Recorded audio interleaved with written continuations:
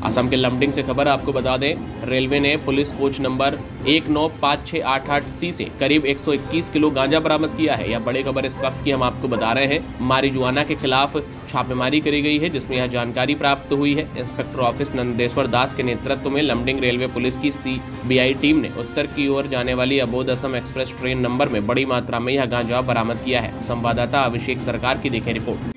लामडिंग के पास में पहले से खबर थी कि गाड़ी नंबर 15909 अवध असम में संदेह के आधार पर मतलब कोई गांजा कैरी किया जा रहा है।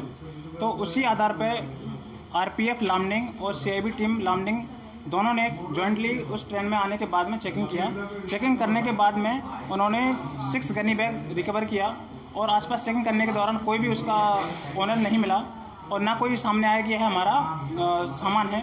उसके बाद में उसको वेट कराया गया। उसमें 121 केजी गांजा रिकवर किया गया है। मार्केट वैल्यू उसका मार्केट वैल्यू बारह लाख दस हज़ार रुपये के समथिंग है। ये कौन सा ट्रेन और कोई किस कोच नंबर है?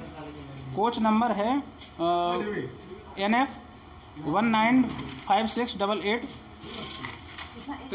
अभी तक कोई गिरफ्तारी नहीं हुई है। इसमें हम लोग गांजा रिकवर करने के बाद में वेरियस ड्राइव भी करते हैं। उसके बाद में गांजा रिकवर करने के बाद में उसी जीआरपी को हैंड ओवर कर देते हैं।